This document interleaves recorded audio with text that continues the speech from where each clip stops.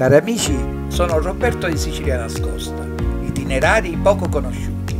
Oggi vi porto al ponte di Calatrasi e al suo castello e vi farò vedere la sua bellezza e racconterò la sua leggenda e un po' della sua storia.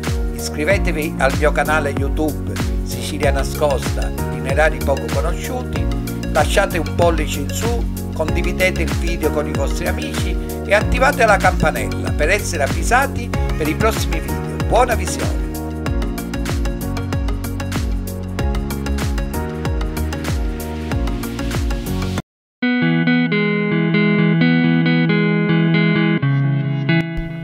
La leggenda racconta che fu costruito in una sola notte da un demone. Oggi Sicilia nascosta vi porta al ponte di Calatrasa.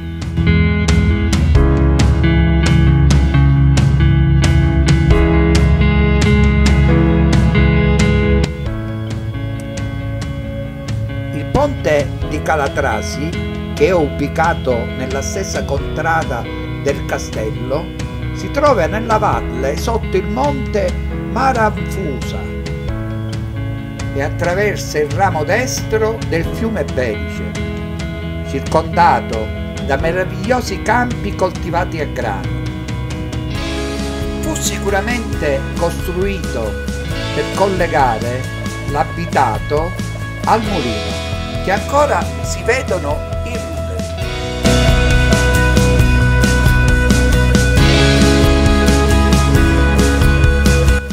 Non è chiaro che appartiene allo stesso periodo del castello. Sulla data di costruzione si pensa che sia della seconda metà del XII secolo.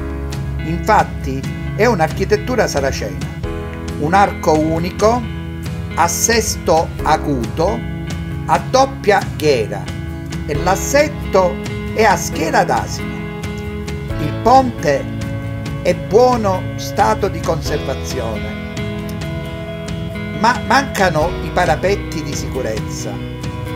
È per questa ragione che per la sua leggenda viene chiamato il ponte del diavolo. Si racconta che il ponte fu costruito in una notte dagli spiriti chiamati fati e per questo non costruirono i parapetti e se gli abitanti cercavano di farli, loro li demolivano.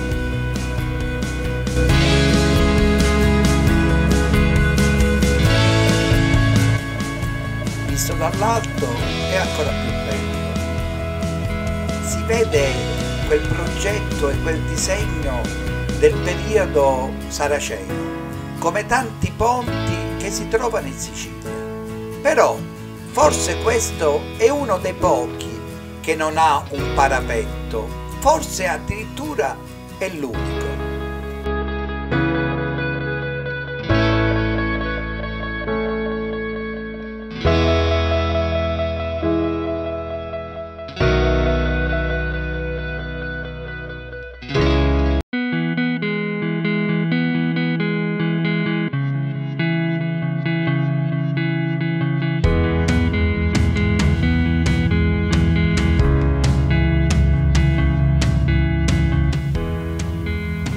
Attraversato il ponte si vedono le cascatelle che scorrono tra le rocce e le sue acque si perdono tra insenature e anfratti per poi perdersi tra gli immensi campi.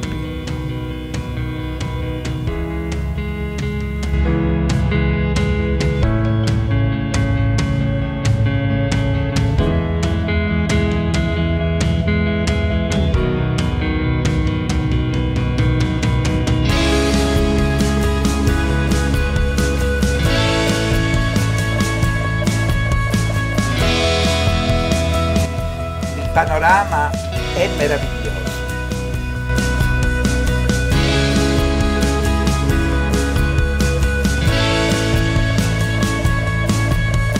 Accanto al ponte troviamo i resti di quello che è rimasto del mulino, che fino a metà del Novecento era ancora in funzione e produceva farina con il grano di quelle terre. Ma le origini si perdono nel tempo. Si vede chiaramente il corso del canale che si immetteva nella torre dell'acqua. In questo modo la macina ruotava.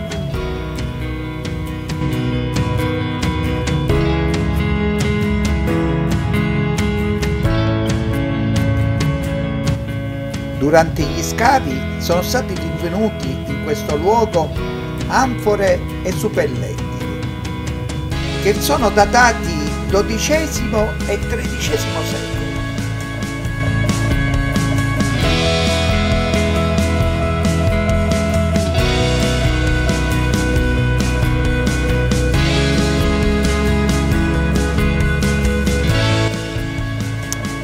castello risale al periodo islamico del 1093 e il suo nome era Kalatak Zurik. Un viaggiatore arabo, Mohammed Idris, nel 1150, parla di un castello abbastanza appariscente e fortificato, molto valido e sicuro.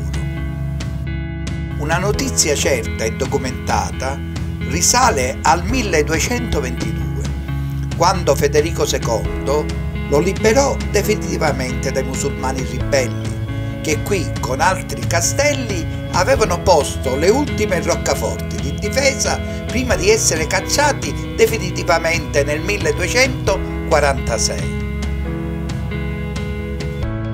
Dopo questo evento le notizie del castello e del feudo sono frammentarie nel 1351 venne chiamato il covo della Trones perché pare sia stato abbinato ad alcuni briganti che gli vivevano.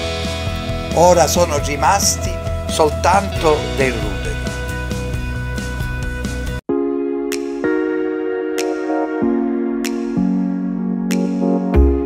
Spero che il mio racconto su Sicilia nascosta vi sia piaciuto al mio prossimo video. Ciao!